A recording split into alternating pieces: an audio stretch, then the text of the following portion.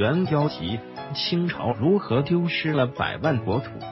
全因此人的一张嘴。清朝自一八四零年的第一次鸦片战争失败后，就陷入了割地赔款的死循环之中，直至灭亡。在此期间，清朝因各种原因被迫割让了大片国土，其中仅仅是在一八五八年至一八六零年的第二次鸦片战争期间。清朝丢失的国土面积就高达一百多万平方公里。令人感到吃惊的是，夺走清朝如此巨大面积国土的，并非是发动战争的两个参战国英国、法国，而是在一旁作壁上观的沙俄。更令人吃惊的是，沙俄不费一枪一弹，全凭一个人的一张嘴，就将清朝的百万国土一口吞下。这个人是如何做到的呢？一八五六年，由于第一次鸦片战争中的许多遗留问题没有得到解决，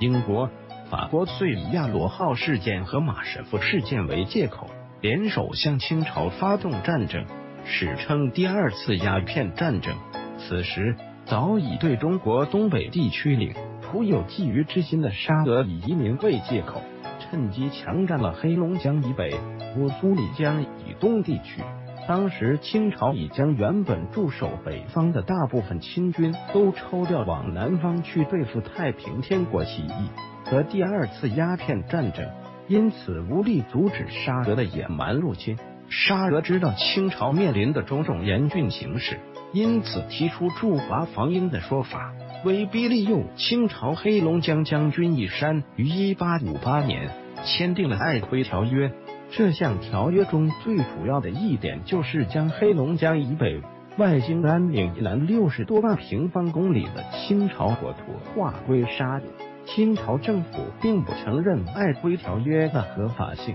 并强烈抗议沙俄这种不请自来的行径。不过，鉴于当时清朝面临的种种危机，所以对东北的情况暂时也无力做出应对措施。到了一八六零年。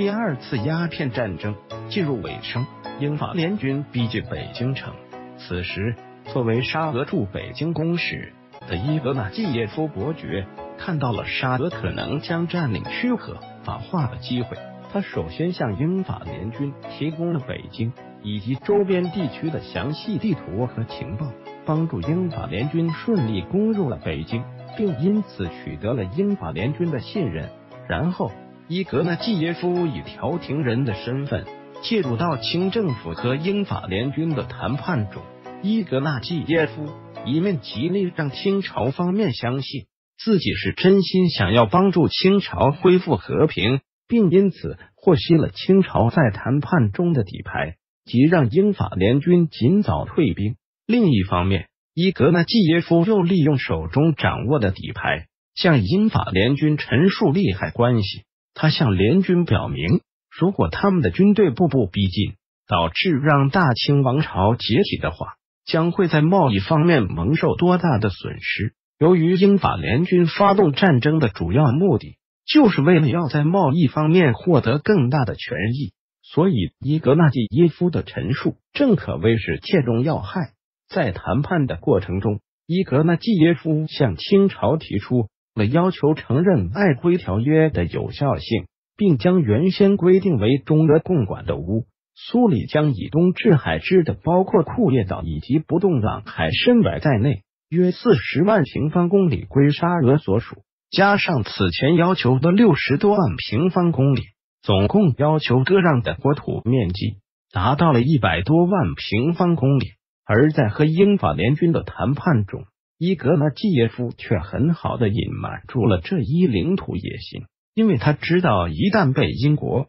法国得知此事，两国必然会要求获得同等的权益。这样一来，很可能使谈判陷入僵局。为了避免夜长梦多，伊格纳季耶夫建议英法联军在谈判过程中不要拖泥带水，因为冬季即将来临，一旦北京周围的主要河道结冰。联军就会陷入中国人的包围之中。狡猾的伊格纳季耶夫在谈判双方周旋，成功对英法两国隐瞒住了沙俄的领土野心。而又让清政府相信英法联军的战舰和军队支持他的领土野心。最终，英国、法国分别于一八六零年十月二十四日、二十五日同清朝政府签订了《北京条约》。条约中的内容和英法两国的最初诉求完全相符，因此沙俄这个调停人其实并没有帮清朝减少任何损失，